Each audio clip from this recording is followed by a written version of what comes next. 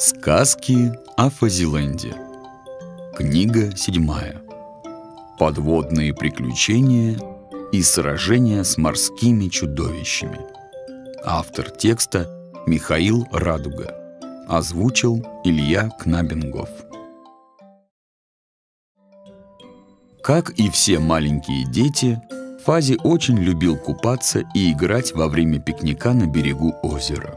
Раньше он ждал этого события с нетерпением, но не в этот раз. «Мам, может, все-таки мы не поедем на озеро?» Спросил он с надеждой, завтракая овсянкой.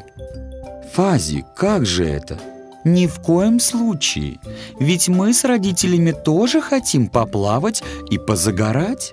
Все попытки Фази отменить поездку оказались неудачными – он даже пробовал притвориться больным, но слишком сильно нагрел градусник на электрической плите, и мама ему не поверила. Он много раз хотел научиться плавать, но дальше разговоров его желание не заходило. И вот теперь он мог опозориться перед Астрой.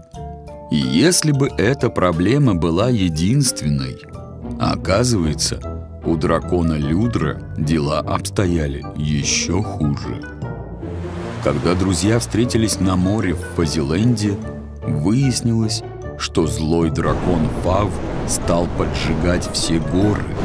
Их снежные вершины начали таять, и Людру стало негде прятаться от гнева Фава. «Может, попросить китов потушить все пожары фонтанами?» — предложил Фази. Но они плавают так далеко и так глубоко Вздохнул Людер. Оказалось, что Людер тоже не умеет плавать, как и все маленькие дракончики. Он явно знал, как помочь Фазе, но из-за Фава прямо об этом сказать не мог. Ты ведь так просто можешь научиться плавать!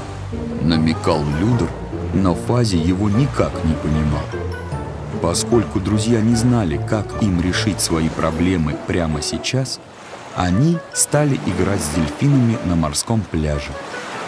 Дельфины их звали в море, но ребята боялись утонуть. Ночью прошел сильный дождь. Поэтому на следующий день с самого утра Фази и Оби на перегонки запускали в ручье кораблики. В разговоре выяснилось, что Оби тоже все еще не умеет плавать. Однако его это не печалило. «И что? Буду себе играть у берега, как обычно. Я же не влюбляюсь во всяких капризных девчонок». «Сам ты влюбился», — покраснел Фази. «Мы просто дружим». «Так скоро вы еще и целоваться начнете? Фу!» Фази не выдержал и пнул кораблик Оби. Тот ответил тем же, и они начали толкаться. Завязалась борьба, и друзья упали в ручей. Ссора тут же закончилась. Теперь им точно достанется от родителей за мокрую и грязную одежду.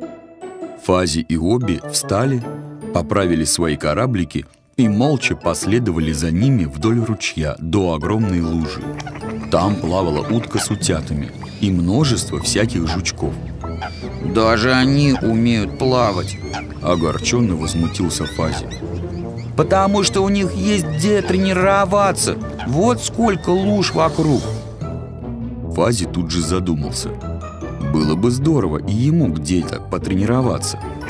Сначала он решил это сделать в этой же луже, но она была ему лишь по колено в самом глубоком месте. Потом он решил попробовать плавать дома в ванне, но у него и там ничего не получилось. Когда же он перебрал все возможные варианты, наконец вспомнил про Фазиленд. «Так вот где я могу вдоволь натренироваться!»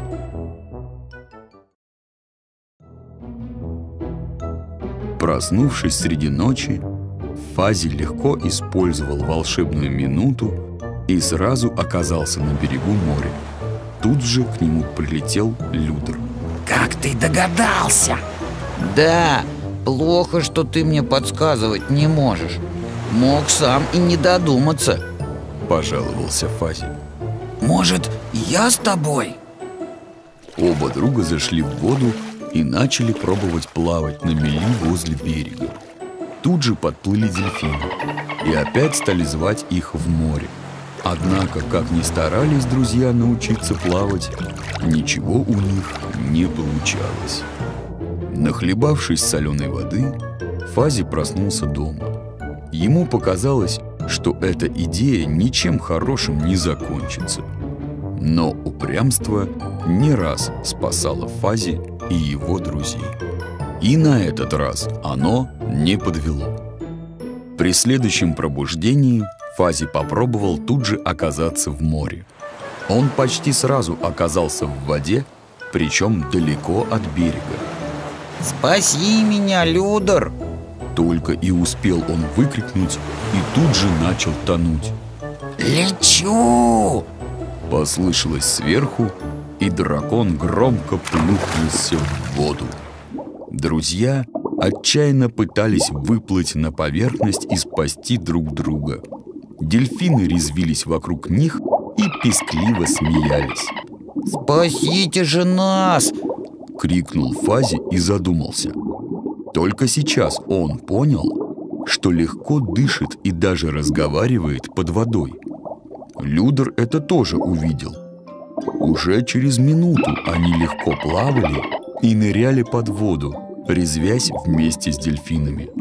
Так и провели они время в Фазиленде, решив в следующий раз доплыть до китов.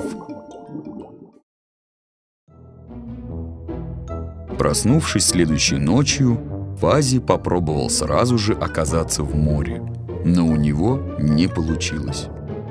Также не получилось взлететь и встать. Но зато получилось выкатиться с кровати, не напрягая мышц. Фази сразу нырнул сквозь пол и оказался на глубине холодного и темного моря. А киты согласятся помочь? Спросил плывущий рядом Людер. Мы же по-хорошему их попросим Удивленно ответил Фази, заныривая все глубже. Большие киты и в самом деле оказались очень добрыми. Они так распереживались за Людра, что тот еще не успел ничего сказать, как они вызвались тушить все пожары Фазиленда мощным фонтаном из своей спины. Но едва друзья и киты подплыли к поверхности, на них напали гигантские осьминоги и связали их своими щупальцами. Оказалось, это были подданные Фава. Сам он не мог помешать, ведь плавать не умел. «Куда это вы собрались?» Мерзко прошипел самый большой осьминог. «Ничего у вас не выйдет!» Ох, какие же вкусные жареные осьминоги Отвлек их внимание Фази, когда заметил подплывающую к ним стаю дельфинов. Дельфины принялись за дело. Каждый из них ухватил зубами осьминогов за кончики щупальцев и развязал пленников. А затем они связали осьминогов в крепкие узлы их же щупальцами. Когда опасность миновала, друзья продолжили тренироваться плавать. Киты же выпустили такие мощные струи воды, что потушили сразу все горящие вершины гор Фазиленда. Теперь Людер снова мог прятаться на снежных вершинах от Фава и помогать своему другу Фази. На следующий день все ребята со двора и их родители поехали на пикник к озеру. Астра самая первая разделась и пошла купаться, позвав за собой всех ребят. Как старший, Спар был уверен, что Фази не умеет плавать. Чтобы унизить его в глазах Астры, он предложил ему наспор проплыть до красного буйка. Легко Согласился Фази. Ты уверен? Забеспокоился Оби. Раз, два, начали! Крикнула Астра, и ребята кинулись в озеро. Фази опередил соперника с самых первых метров дистанции и легко выиграл заплыв. Астра поцеловала Фази в щеку а Спар опозорился перед всеми. До самого вечера ребята купались и плавали, но обиженный Спар сидел один в стороне и что-то замышлял против Фази. Заключение от дяди Миши. Дорогой друг, теперь ты узнал, как еще могут пригодиться в жизни путешествия в Фазиленде. Оказывается, там можно чему-нибудь научиться. Конечно, дышать под водой можно только в Фазиленде, но вот плавать можно и там, и здесь. Точно так же можно овладеть и другими полезными навыками. Фав продолжает строить козни нашим героям, но дружба их всегда выручает. Возможно, когда-нибудь они окончательно освободят волшебную страну от злого дракона. А пока мы видим, как дружба с Астрой мотивирует Фази развиваться и исследовать новые возможности Фазиленда. Что будет дальше, ты узнаешь из следующей истории. А пока не забывай, что все описанное не выдумка. Ты тоже так можешь. Все 10 сказок на сайте faziland.com.